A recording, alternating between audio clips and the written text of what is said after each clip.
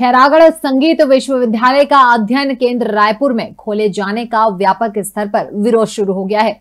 इस मसले पर लोगों ने खैरागढ़ बंद रखा और अध्ययन केंद्र खोले जाने पर नाराज़गी ज़ाहिर की। नवगठित जिला खैरागढ़ में स्थित एशिया के पहले इंदिरा कला एवं संगीत विश्वविद्यालय को लेकर विवाद शुरू हो गया है। विवादों की वजह बना है विश्वविद्यालय का रायपुर में खोला गया अध्ययन केंद्र। अध्ययन केंद्र के विरोध में खैरागढ़ निवासियों ने अब मोर्चा खोल दिया है। और लगातार विरोध का दौर देखने को मिल रहा है। इसी क्रम में खैरागढ़ वासियों ने शहर बंद किया। खैरागढ़ में सभी वर्गों द्वारा बंद का समर्थन देखने को मिला। व्यवसायिक प्रतिष्ठानों के साथ ही साथ छोटे छोटे ठेले और दुकानों के साथ साथ सब्ज़ी मंडी भी बंद रही। वहीं बंद का असर कोर्ट परिसर में भी देखने को मिला और वकीलों ने भी अपना काम बंद रखकर बंद का समर्थन किया।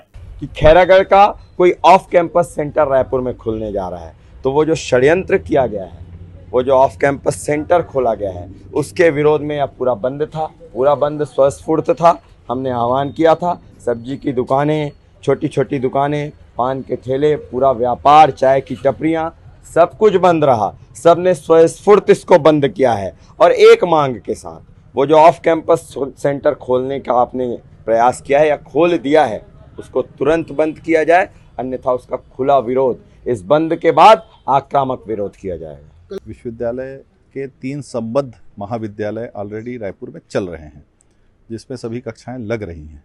तो उसके बाद इसका एक पार्ट वहाँ खोलने की आवश्यकता क्यों महसूस हुई? विश्वविद्यालय का इससे पहले और इस तरह का पार्ट कहीं किया गया? ऐसी कोई जानकारी नहीं है। बच्चों को क्या खैरागढ़ पहुँचने में कोई तकलीफ़ होती थी? यहाँ डिप्लोमा के कोर्स होते ही हैं डिग्री और स्नाकोत्तर के भी क्लासेस लग रही हैं। तो ये जो गैर वाजिब चीज़ें वहाँ हुई इसके पीछे की मंशा स्पष्ट हम लोगों को समझ में नहीं आ रही है। इस वजह से इसका विरोध किया जा रहा है। संबंध में पहले सूचना मिली थी कि आज के दिन जो है नगर वासियों द्वारा नगर बंद का आह्वान किया गया है और जो कि सुबह से ही मेडिकल आदि को छोड़ करके समस्त दुकानें बंद हैं और इसके लिए पूरी तरह से पुलिस ने चाक चौबंद व्यवस्था की हुई है और सभी चौक चौराहे पर उसमें ड्यूटी लगाई गई है और लगातार पेट्रोलिंग करके नज़र रखी जा रही है। इंदिरा कला संगीत एवं कला विश्वविद्यालय की कुलपति ममता चंद्राकर ने कहा कि इस विश्वविद्यालय का विघटन नहीं किया जा रहा है।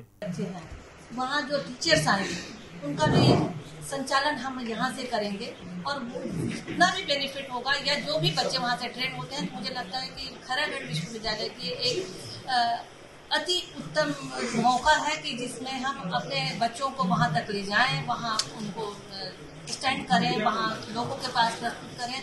हमारे पास एक जगह होगी जहाँ हम अपने, यहाँ के विद्यार्थियों को भी वहाँ पर एक्सपोज कर पाएँगे, ताकि वहाँ के लोग देखें, सुने और उससे प्रेरित हों।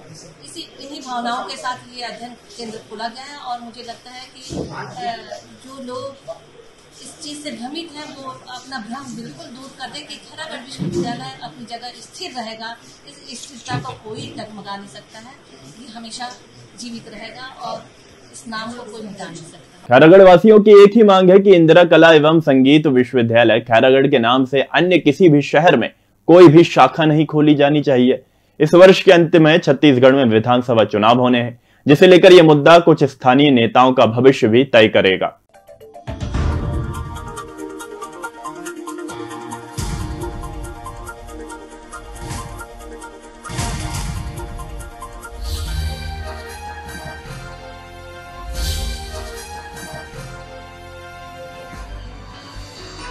आप देख रहे हैं दखल न्यूज़।